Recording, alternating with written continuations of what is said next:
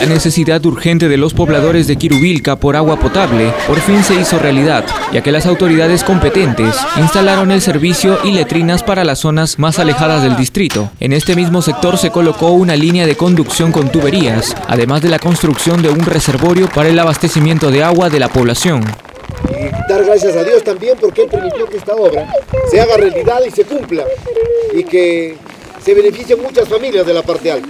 Con el agua que es como ya lo dijeron, el líquido elemento y es eh, pues agua es vida. Asimismo, se dio la instalación y mejoramiento de redes de distribución y conexiones domiciliarias, además de una cámara rompepresión. Esta obra está valorizada en más de un millón de soles y ahora el siguiente paso es la electrificación de la zona. Sinceramente nos emocionamos cada vez que visitamos los caseríos, vemos eh, la electrificación que antes no había, se está trabajando en la ampliación, Yaray también tiene el colegio, que se ha hecho un hermoso colegio, la posta, el local comunal, el puente, la carretera.